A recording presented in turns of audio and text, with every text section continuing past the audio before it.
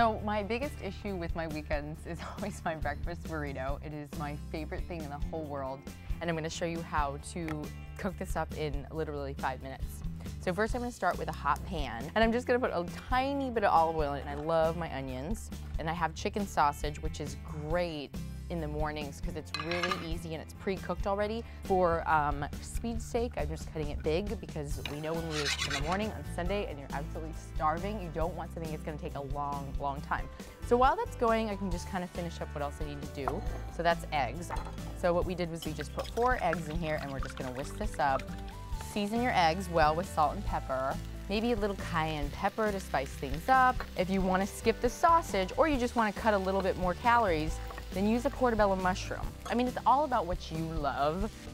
Okay, so this is a really nice hot pan. We got some great color going on here. And make sure you lower the heat when you put the eggs in. You just want to get them enough so that they're cooked and they're still really light and fluffy and not like El Scorcho Deluxe where they're brown on the bottom. Not good. And you're just gonna do low and slow so that we don't have extra color on this. Turn on a burner on really low heat and just kind of warm them up. Now that we got a little bit of color on these and they're starting to finally bulk up, we can get ready to plate. I'm gonna add some cilantro because I love that fresh taste that it gives off. And as you can see, I use it in a lot of my cooking, which is kind of embarrassing because I overdo it a little, but I have a very love-love relationship with cilantro. We like each other. So we put um, a lot of sausage in here. Stay away from breakfast sausage. It's really high in fat. Okay, so um, cheese, please just a little bit.